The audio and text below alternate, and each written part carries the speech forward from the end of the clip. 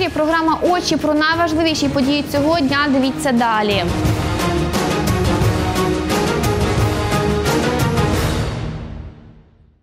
Отруїлися грибами. У Львові батько і два сини потрапили до реанімації. Їх з Городоцького району до Львівського шпиталю перевезли декілька днів тому. Лікарі зазначають, у трьох чоловіків усі симптоми отруєння, серед яких постійна нудота та блювання. Стан батька дуже важкий. Стан батька важчий. Ми думаємо, що це є отруєння блідою поганкою, хоча підтвердження даного факту ще не маємо. Зранку будемо мати повторні аналізи і будемо точно знати, чи це бліда поганка, чи ні. Дружина чоловіка, який отруївся грибами, розповідає, він збирав їх протягом 35 років, тож знав, як відрізнити небезпечні. Додає, наразі він потребує плазми, сини ж переливання крові. В даний момент мені треба було ще тут шість хлопців, щоб здали кров. То на вчорашній день. На сьогоднішній знову треба плазму і знову треба шість хлопців, щоб здали кров. Нібито російського виробництва підгузки в бейбі-боксах, фото яких вчора опублікували в мережі, виявилися не російськими. А допис у Фейсбуці поширювач цієї інформації вже видалив. Один із новоспечених батьків погодився розпакувати коробку із дитячими речима і показати її вміст. А ми, як і обіцяли, перевірили, в якій країні насправді виготовили ці підгузки, а ще чи якісні речі в пакунку. Деталі від Марини Пітеляк. Дякую вам дуже. Тато Андрій приймає пакунок для своєї доньки. Роздивляється наповнення. Тут серветки, пелюшки, засоби гігієни і підгузки. На них і акцентуємо увагу.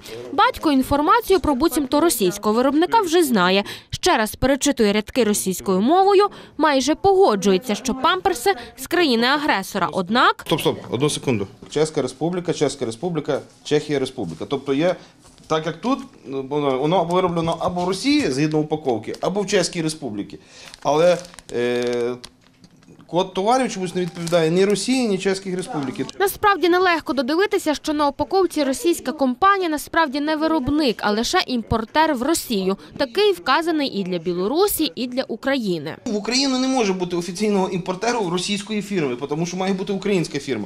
Для Росії це імпортер, да? це буде оця фірма. Для України є і в Білорусі є фірма, оця фірма. Для України є офіційний імпортер Троф Онес Україна. Оце є офіційний імпортер для України. Бо й навіть серветки цієї ж фірми не російські, а О! Ізготовитель. Все в порядку. Кит, ки- Китай, Китай, все незрозумілим є лише той факт, що код виробника чеський, а сам штрих-код 541 вказує на Бельгію. Цю інформацію нам підтверджує і заступник директора департаменту соцзахисту у Львівській облдержадміністрації. Додає про інцидент повідомили київських колег, які і впорядковували пакунок. Ті пообіцяли з'ясувати, хто ж насправді виготовляє підгузки для бейбі-боксів. На самій упаковці вигравійований код ДБ.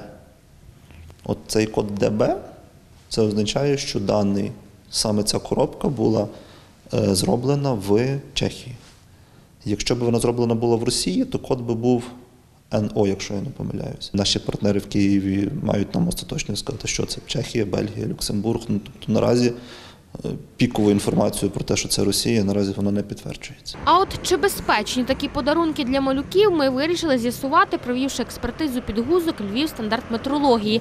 Якість памперсів і їхній склад фахівці визначали трьома способами: під мікроскопом, хімічним методом і методом горіння. Внутрішня частина сорбент, наповнювач, він є е, натуральний, це є бавовна. Та тканина, яка і верх, і та, що е, прилягає до тіла, вона є синтетична, поліефірний матеріал. В соцмережах батьки обурюються і вмістом пакунків. Мовляв, не коштує це добро 5 тисяч гривень. Ну реально, тут, а, тут мені здається, навіть на 2,5 тисячі гривень нема. Е, нема товару. А 5 тим більше. Але ж ті 5 тисяч кудись пішли. Ситуацію пояснюють у соцзахисті. Обіцяли пакунок на суму до 5 тисяч гривень. Вартість цього 3200. Нагадаємо, такі бейбі-бокси одержують родини, в яких народилися дітки з 1 вересня цього року. Марина Петеляк, Юрій Маковецький, Антон Лакіза. Програма Очі. Крига скресла. Тягнучка на українсько-польському кордоні, що паралізувала рух від початку тижня, зменшується. Станом на 16 годину перед пунктом пропуску Краківець-Корчова на Львівщині скупчилося 6 десятків вантажівок. Тоді як напередодні там застрягли майже 200 фур. Аби таки перетнути рубіж, водіям доводилося чекати по дві, а то й три доби. Далекобійники нарікають, черги буцімто через страйки стражів із польського боку. Українські ж прикордонники запевняють, працювали у звичному режимі. Просто вантажівок з'їхалося надто багато. В небі над пунктом пропуску Краківець-Корчова згущуються хмари, натомість потроху, зрештою, розсмоктується затор з вантажівок. Дорогою ми їх нарахували 65. Це майже втричі менше, ніж учора. Ярослав, аби потрапити до Польщі, тут буквально живе, каже, вже третю добу. Спав у машині, а перечекати з яким таким комфортом і прийняти душ, розповідає, можна ось тут, у платному терміналі. Та до нього потрібно було ще доїхати. Ну, треті сутки їдемо. Я став в чергу, було 5 кілометрів сюди до границі. От я двоє суток їхав 5 кілометрів. Постійно чекаєш, під'їжджаєш, чекаєш. Чоловік зізнається, на випадок тривалої стоянки далекобійник завжди має припаси. У нас там пряники, всякі хліб, чай, кава. Можемо брати з дому там котлетки, кашу там зварити. Такі скудні запаси, тому що до поляків не можна м'ясо, молоко вести. Олександрові пощастило не більше. Далекобійник везе фанеру до Німеччини, нарікає, поспішає, адже терміни підтискають. Уже має зворотне відвантаження. Натомість третю добу змушений чекати. Ми тут сидимо замість того, щоб щось заробити. У нас немає ніяких добових, нам за ці простої ніхто не платить. Тобто ми проїдаємо гроші. На ягодині взагалі кажуть, вже по 5 діб стоять. Тобто воно кругом таке робиться. Я не знаю. Каже, хто в цьому винний. Ці списують на поляків. Поляки кажуть, що наші не працюють, не знаю. Керманичі між собою обговорюють. Черга, яка ще на початку тижня налічувала декілька сот машин, утворилась через страйки працівників з польської частини кордону. Це, мовляв, і сповільнило роботу.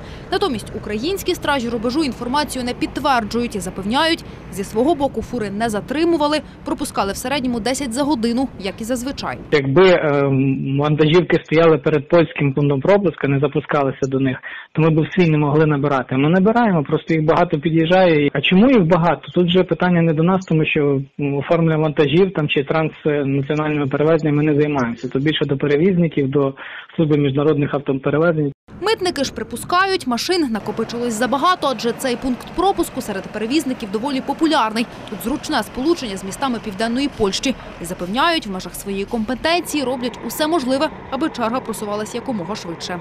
Ми постійно зустрічаємося з польською стороною на рівні прикордонних та митних служб е, з проханням пришвидшити оформлення. Там є така потужна автострада, через яку всі перевізники намагаються переїжджати. Якщо, наприклад, Шигіня не, не настільки завантажена, Рава Руська так само не настільки завантажена, там взагалі зараз немає черг вантажного автотранспорту. Тим часом легковики рухаються без затримок. До завтра прогнозують стражі рубежу, розмокчиться й черга далекобійників. Ніна Сукач, Юрій Маковецький, програма «Очі». 67 айфонів та 23 пари навушників AirPods. Таку партію коштовних гаджетів вилучили прикордонники львівського загону.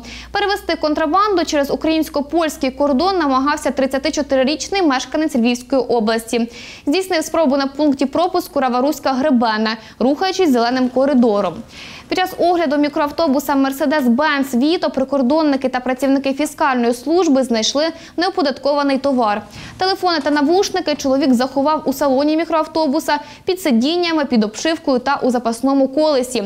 Орієнтовна вартість продукції понад 2 мільйони гривень. На порушника склали протокол. Йому загрожує штраф у розмірі 100% від вартості перевезеного товару. Контрабанду та машину вилучили. Небезпечну інфекцію зафіксували на Одещині. В однієї людини діагностували сибірську виразку. В чотирьох виявили симптоми захворювання шкіри. Як з'ясували фахівці, напередодні пацієнти їли м'ясо тварини, яке було заражене сибіркою. Як убезпечити худобу від збудника, відтак і себе від отруєння м'ясом, ми розпитали у львівських лікарів. Основні шляхи інфікування людей це контакт зі шкірою або вовною хворої тварини, а також споживання зараженого м'яса. Худоба ж може підхопити інфекцію, з'ївши траву, яка виросла на місці скотомогильника, або ж випивши рідину з водойми поруч. Тож хворих тварин потрібно не закопувати, а спалювати, бо збудник зберігається в ґрунті десятки років. Лікарі кажуть, як тільки проявляються перші симптоми захворювання, а це біль у грудях, діарея і фурункули на шкірі, на ранній стадії можна врятуватися антибіотиками антибіотиками. Це зовнішні прояви, коли є шкірна форма карбункул, а коли є легенева форма, це як пневмонія, висока гарячка, задишка, кашель, виділення мокротиння е, такого великої кількості у вигляді малинового желе.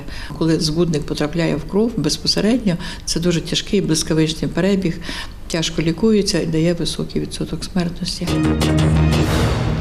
Відтепер споживачі повинні самостійно подавати показники лічильника. Фахівці Львівобленерго нагадують мешканцям області про зміни.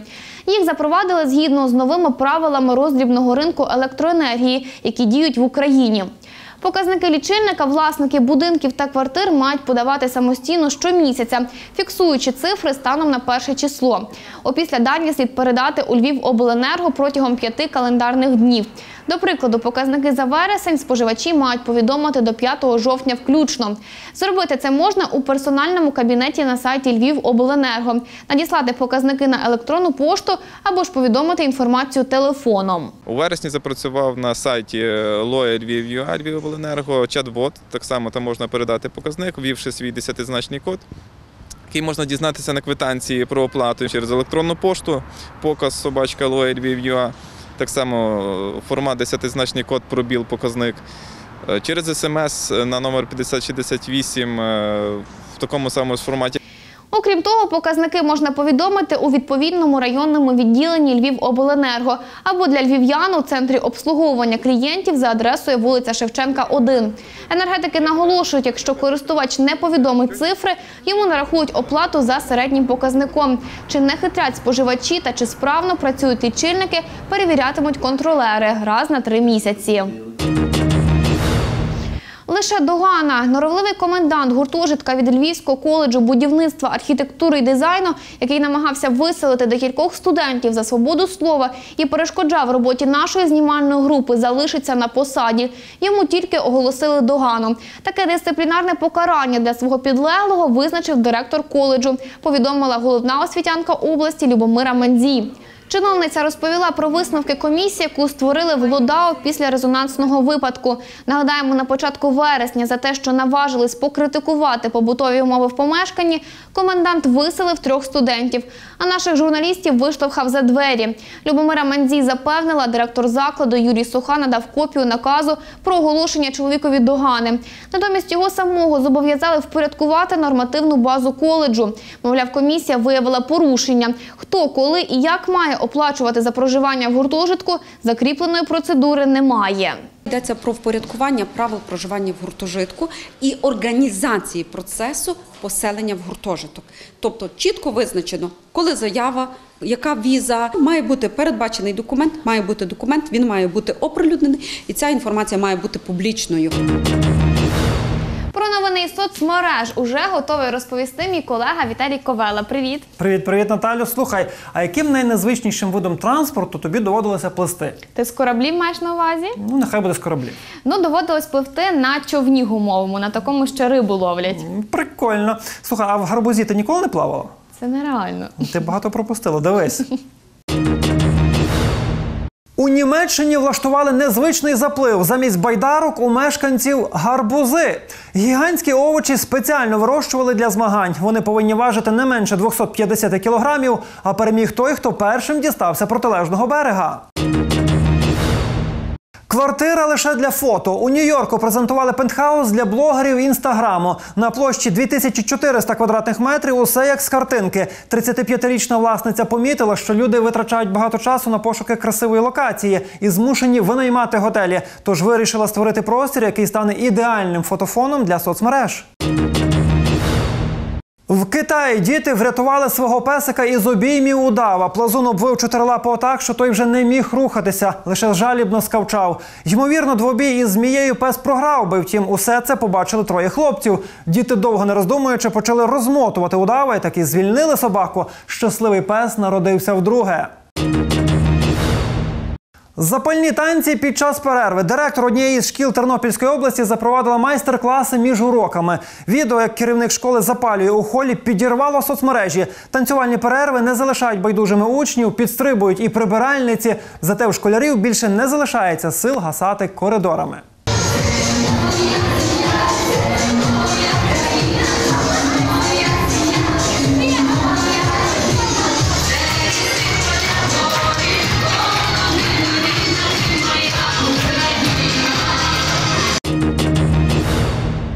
Слухай, ця жінка мені нагадала британську прем'єрку Терезу Мей. До речі, бачила, як вона танцює? Ні, не бачила. Її рухи ж такі схожі, як на робота. В соцмережах багато жартують, до речі, з цього приводу. Ти обов'язково після ефіру подивись. Добре, гляну. Дякую тобі за інформацію. А на сьогодні це все. Дякую, що були з нами. На все добре.